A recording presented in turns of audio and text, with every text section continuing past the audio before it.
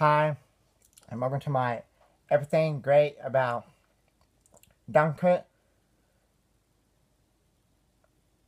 review. Now in this video, I'm going to try to tell you everything that is great about Dunkirk. So let's get started. Um, it's directed by Christopher Nolan. It's a war movie. It's a World War II movie. It's rated PG-13. Um,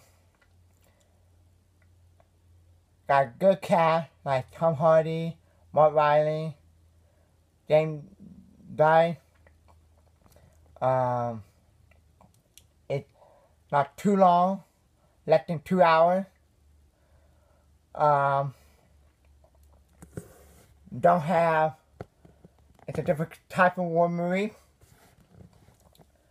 Um, don't have character development. Um, um, a survivor, survivor, survivor, a war movie. Um, and have it have no bloody and gut in it. And um um so it's a different type of movie so that good no bloody and gut.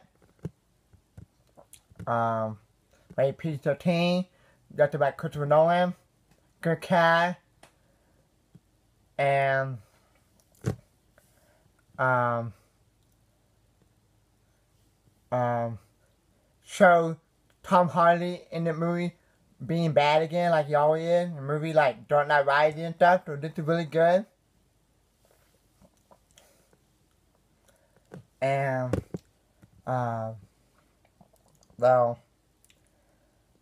you don't you don't really have to show bloody and gut to um, make a really good war movie.